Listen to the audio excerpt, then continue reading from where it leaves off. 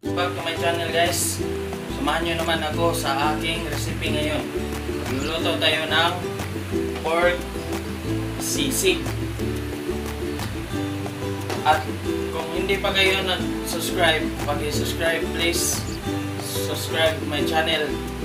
And pag-click na rin yung bell para updated kayo sa aking mga another video. At ipapakita ko sa iyo ang mga sangkap nito.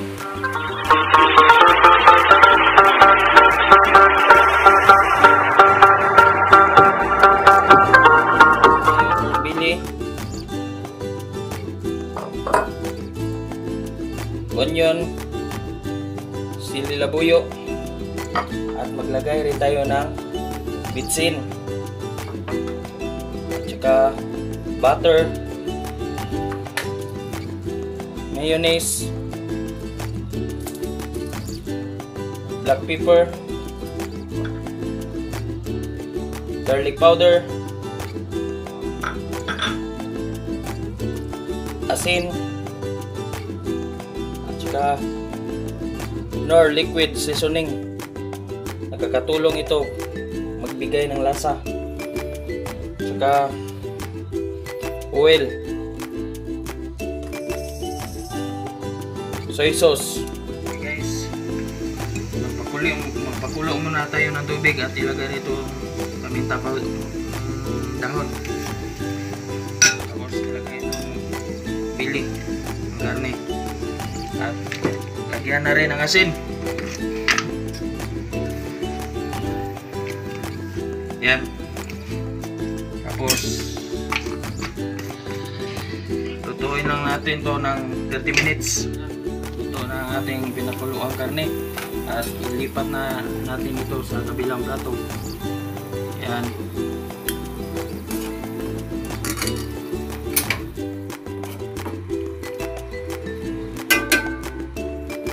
at cool down natin.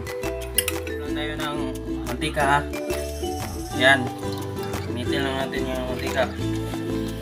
Saka ito yung pork belly na pinalambot natin okay. fry lang natin to. Yan.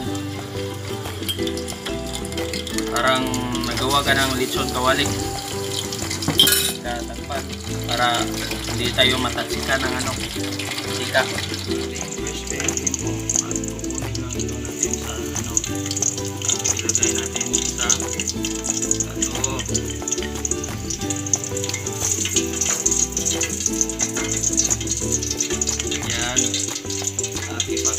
down natin ulit. Iwain ko lang ito ng mal- maliliit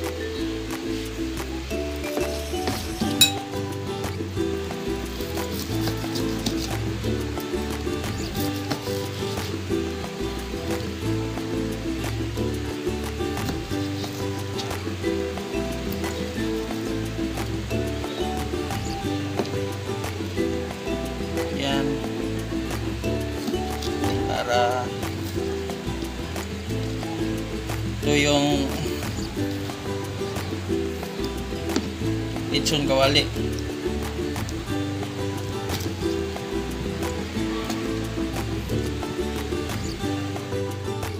ito.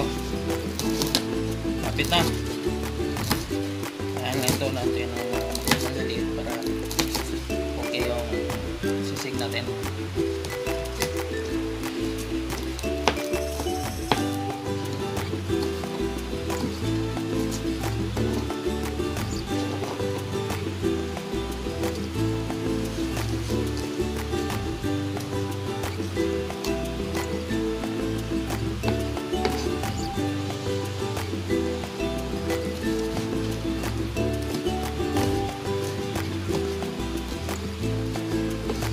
Eh, yan. Tapos na tayo mag-slice. Magpainit tayo ng mantika.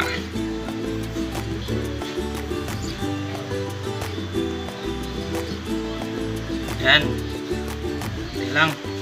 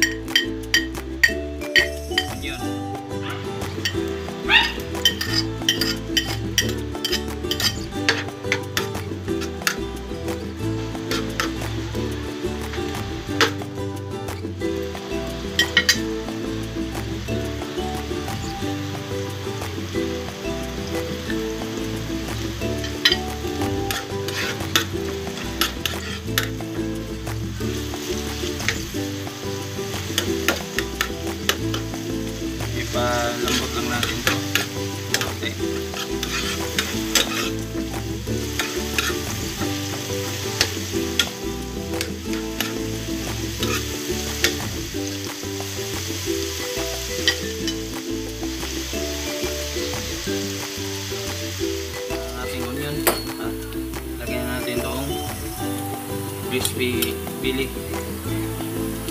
Ayan. Tuloy lang natin ng mabuti para mas maganda para yung lasa niya pantay. Ayan. Lagay rin tayo ng black pepper. Ito yung tinatawag na paminta. Saka kunting asin. Saka maglagay rin tayo ng Ajinomoto. Natawag ito ng bitsin. Ito ay pangmalason. Saka maglagay rin tayo ng soy sauce.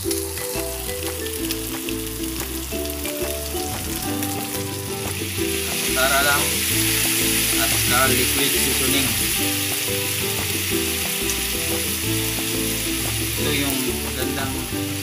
Seasoning na pagkalasa nito.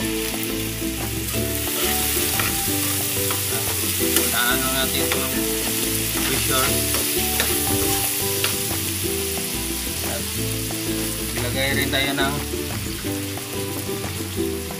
garlic powder.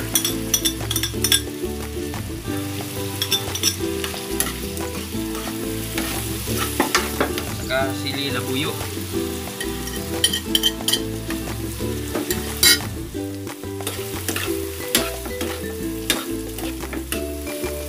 Sunod, itong mayonnaise. Hindi lang. Yan. Haluin lang ng mabuti para pantay yung ibang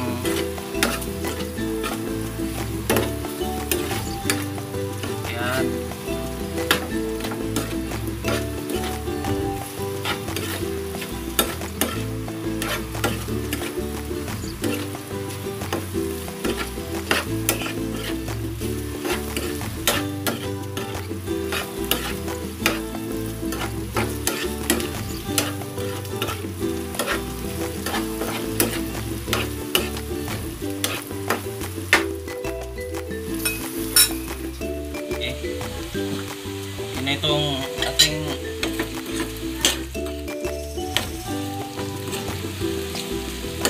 sisig.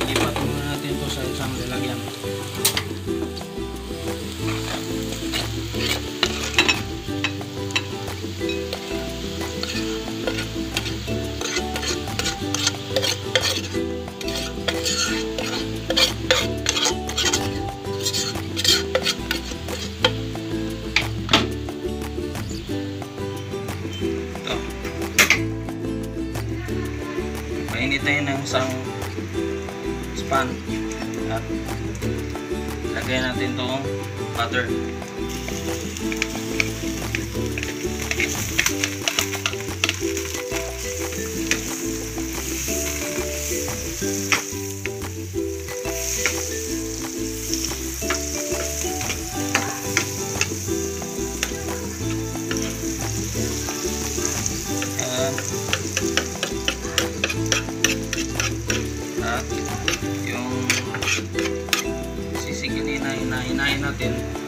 Balik natin ulit.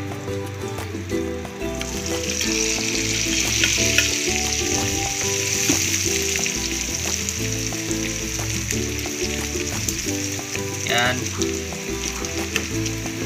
Lutuin na natin to ng 10 minutes. Uh, 30 seconds lang. Pwede na ito.